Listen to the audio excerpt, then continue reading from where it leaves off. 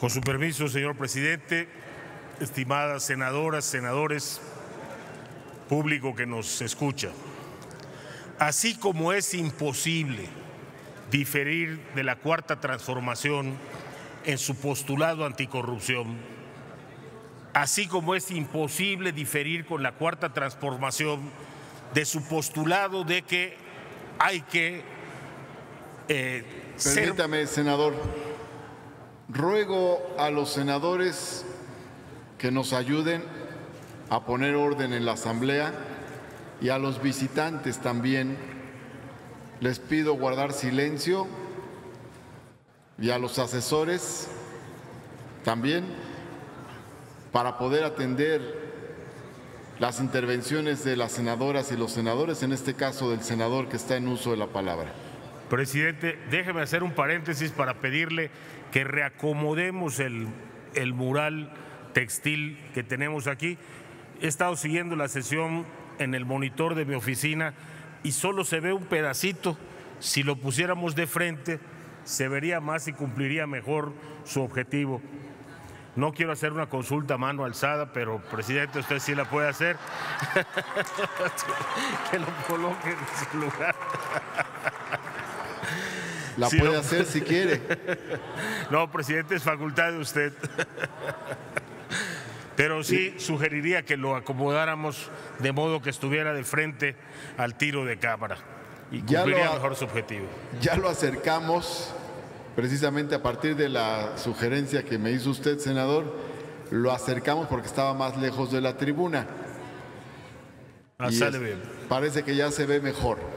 Si fuera necesario, lo checamos para volverlo a acomodar, que se vea de mejor manera. Respaldando totalmente la iniciativa, mi querida senadora. Como le decía, es imposible estar en contra de esos postulados, pero francamente resulta imposible aceptar que se pongan en práctica con una medida como esta. Eliminar al Consejo de Promoción Turística para el caso de Yucatán significa lo siguiente. De la creación del, Consejo a la fecha, nuestra tasa de crecimiento en materia de gasto en turismo, es decir, de lo que los turistas gastan en Yucatán, ha significado más de un 53%. Uno diría con estos números que algo está dando resultado. Por supuesto, no es solo el Consejo de Promoción Turística, pero déjenme decirles algo muy importante, reflejado en una anécdota. Uno de mis primeros jefes, don Eduardo Roche Díaz, trabajábamos en un lugar paradisíaco, Las Coloradas, Yucatán, que pertenece al municipio de Tizimín un lugar extraordinario.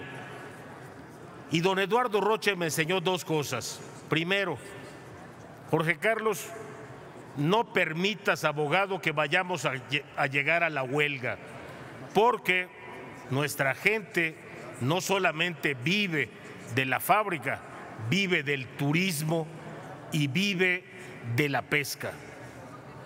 Y la otra cosa que me enseñó es, una de las cosas que usted tiene que hacer es ver que no se coloquen los tornillos a martillazos, porque los martillos sirven para otra cosa. Eso es exactamente lo que estamos haciendo aquí. Estamos queriendo combatir la corrupción con el instrumento inadecuado. Esto equivale a que en lugar de levantar los platos sucios de la mesa, jalemos el mantel no importa que se caigan y se rompan los que se tengan que caer y romper. Eso es lo que estamos haciendo aquí. Si hay corrupción, se ha dicho aquí, tiene que castigarse, pero de ninguna manera quitarle a la marca país la posibilidad de promocionarse en el resto del mundo. Porque lugares como Las Coloradas o como Celestún, que no cuentan con hoteles de lujo, solo cuentan con la promoción de marca. Visit México, una exitosísima campaña en Internet que se realizó a través del Consejo de Promoción Turística. Ese Visit México no es para ningún hotel en particular o para algún destino en particular, es para que muchos más puedan entrar a toda la información de México y así beneficiar a muchísimas pequeñas localidades y a muchísimos pequeños centros de hospedaje. Es un gravísimo error que lamentaremos porque hoy no tenemos con qué sustituirlo, eliminar el Consejo de Promoción Turística. Se elimina lo que no sirve, lo que no da resultados. Se elimina lo que no sirve de las cosas que sí sirven, pero no se les elimina por completo sin tener una alternativa y sin haber revisado los números. Si los hubiéramos revisado, no estaríamos votando a favor de que desapareciera el Consejo de Promoción Turística.